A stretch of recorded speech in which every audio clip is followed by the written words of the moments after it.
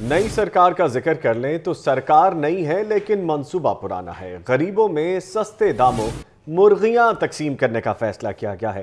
پانچ مرغیوں اور ایک مرغے کا سیٹ بارہ سو روپے میں ملے گا۔ ذرائع نے یہ دعویٰ کیا ہے جبکہ دو ہزار سولہ میں شہباز دور میں یہ سیٹ آٹھ سو پچاس روپے میں دیا گیا تھا۔ اسی پر بات کر لیتے ہیں، عاقب تنویر ہمارے ساتھ موجود ہیں۔ عاقب، جب منصوبہ پرانا ہے تو ریٹ کیوں نہیں پرانے رکھے گئے؟ دیکھیں، یہ تبدیلی سرکار ہے تو کچھ نہ کچھ تبدیلی تو آنی ہی تھی۔ یہی ہے کہ مسلم لیگ نون کی جانب سے یہ جو منصوبہ لگایا گیا تھا، تو اس کے اوپر دوبارہ عمل درامت کے لیے حکومت کی جانب سے فیصلہ کیا گیا کہ ایک تو غربت کو ختم کرنے کے لیے سستے داموں جو انڈے دینے والی مرغیاں ہیں، ان کو دیا جائے لوگوں کو، جس کے لیے پانچ مرغیاں اور ایک مرغے کا جو سیٹ ہے وہ بارہ سو روپے میں دینے کا فیصلہ کیا گیا۔ اس حوالے سے حکومتی ذرائع سے پتہ چلا کہ جو اراکین اسمبلی ہیں، ان کی ڈیوٹیاں لگائی جائیں گی کہ وہ اپنے اپنے علاقوں میں، اپنے اپنے حلقوں میں تقسیم کریں۔ اور پہلے تو یہ آٹھ سو پچاس روپے میں فراہم کیا گیا تھا مسلم لیگ نون کی حکومت تھی دو ہزار سولہ میں۔